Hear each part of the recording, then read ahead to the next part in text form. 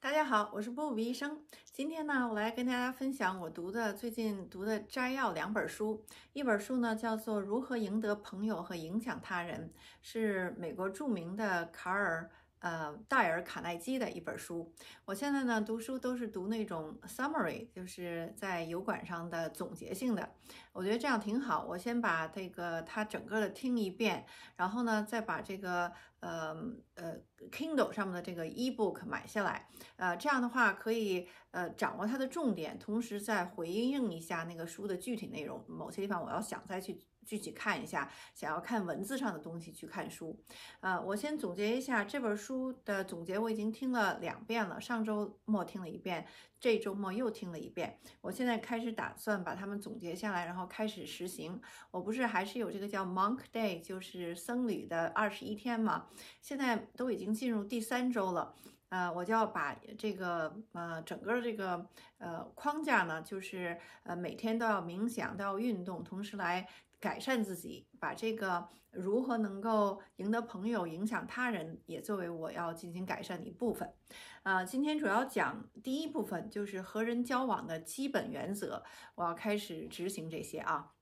好，第一个呢，就是说不要捅马蜂窝，这什么意思呢？就是不要批评别人，因为我们每个人都会有呃自己的情绪，在情绪化的时候，你去批评和别人进行呃正面的冲突，呃，对双方都没有好处，而且把这个事情就呃谈话就搞到了一个僵化的地位。所以这个地方呢，嗯，我就感觉有的时候，我比如想要求孩子做什么事情，想我自己家人做什么事情，就逼得太紧。Try too hard，有点用力过猛，所以很多时候我就想一想，呃，就这个事情，也许他们不到火候，呃，机会不成熟，呃，大概看一下，然后如果势头不对，咱们马上就呃收口，换话题，不要在这个世界上来回的呃兜圈子，呃，这一点呢，我觉得以后呃从现在开始，我就每天就要想，呃，什么地方是马通马蜂窝，我离那儿远点，不要过去。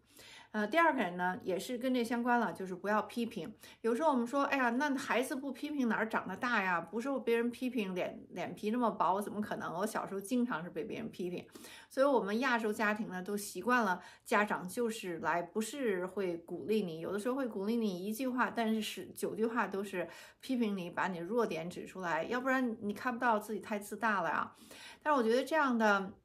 呃，一种教育方式，我慢慢觉得短期有效，就是一下子哦，这个你早上必须得六点钟起，六点十分起就不行。但是长期呢，就是给身心理造成很多压力和创伤，以后做事情的时候就很紧张、很小心翼翼、放不开，就是有一些创伤带来的那些副作用。嗯，所以这样想来，我觉得这至少我对这一点很接接受，就是呃，不要批评别人，别人如果做这件事情这么做和你做的。不一样和你做的想法，你认为很错，那你也要想一想，他在那个情况下是什么样的原因才会做这件事情，呃，或者嗯，他的原因就是一点儿都不对，但是你也知道他。做出这种不对的选择，可能是有情感上的原因，可能有缺失以前他自己的创伤，所以不要说就上来就说哦，这个人老不收拾碗，吃完饭就甩手大掌柜，然后地上东西从来都是我捡，你们别人都不管，这样的话自然就会造成一个负面的，大家都觉得很难受，很